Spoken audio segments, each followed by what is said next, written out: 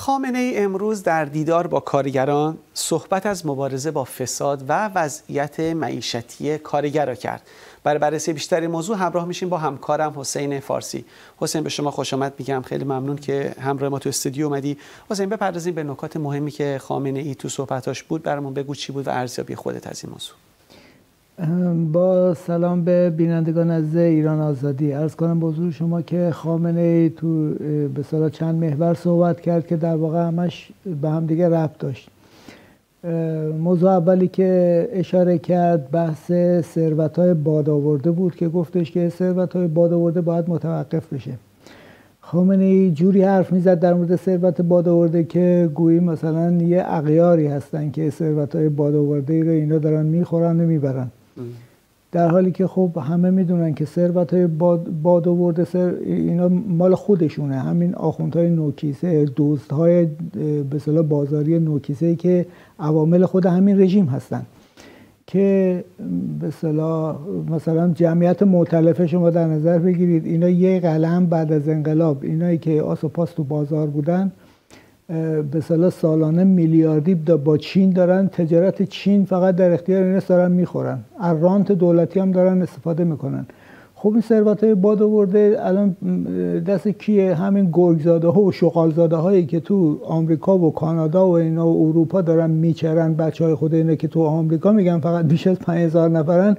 خب این اینا ثروت های باد از خود ایناست. تازه این بعد از 40 سال که دارن قارت می‌کنن اومده میگه ثروت باد آورده باید متوقف بشه. کی باید بکنه؟ به جز تو کی باید بکنه؟ مثلا یاد همین نماینده ولی فقیه افتادم که چند روز پیش کشتنش میگن 400 میلیارد این چیز داشته. خب اینا همشون هم اینطوریه اون نگهبانی هم که کشته میگن به خاطر این بوده که از درد بله یه تخم مرغ نمی‌تونسته بخره. حالا از کنم بزرگ شما این یه موضوعش بود. موضوع بعدی بحث فساد بود که بحث فساد هم این به صلاح کنهو خود خلاصه خودش رابین هود نظامه و خلاصه به دنبال مبارزه با فساد گفت گفتش که من 20 سال پیش به صلاح یه نوشته ای دادم برای مبارزه با فساد ولی دولت ها نکردن. همه رو انداخت کردن دولت ها در حالی که دولت و اینا همه کارگزار و آبدارچی اینن.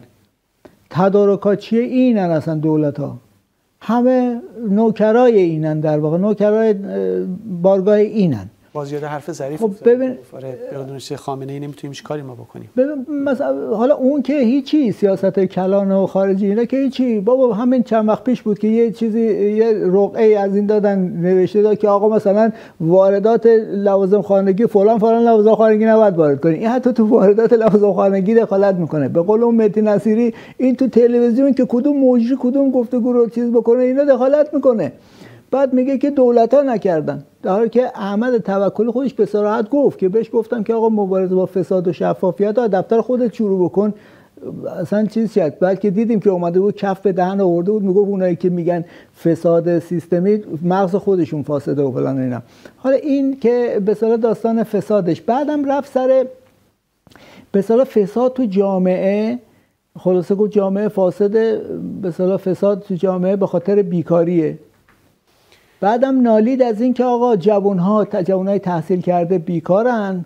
بعد حالا یه جالبی هم گفت. گفتش که یه سری جوان هستن که نه دنبال کارن نه دنبال تحصیلن.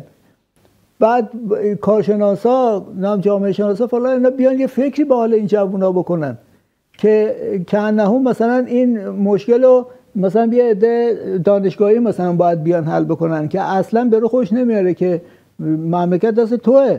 این جوونه اگه بیکارن اگرم فساد هستش که همه زیر سر توی که تو مسئول همه این داستان هستی. حسین علاوه بر همین نکته که خودت الان گفتی مشخصا خامنه ای که الان کارگرا رو جمع کرد و خلاصه براشون صحبت کرد یه جمله گفت به نظرم روی اینم توضیح بدی برامون. خوبه که بله. گفت کارگرا وفاداریشون رو خلاصه به نظام نشون دادن. این کمی سوال برانگیز و تعمل برانگیزه. این رو چطور می‌بینی؟ بله البته خامنه ای به صلاح خب روزه خونه دیگه. در واقع همیشه وقتی هم چیز می‌کنه میره بالا منبر روزه می‌خونه دیگه. یه روزه ای خوند در باب کارگرا و خلاصه تکریم کارگرا. بعدم این اومد دجالگرانه گفتش که این کارگرا به صلاح وفاداریشون رو به نظام ثابت کردن. چطوری؟ اینا اعتراض می‌کنن؟ خب این اعتراضاتی که می‌کنن اصلا خوبه برای نظام اینا بیان اعتراض بکنن. چون نظام می‌فهمه اینجا یه مشکلاتی هم هستش اینا.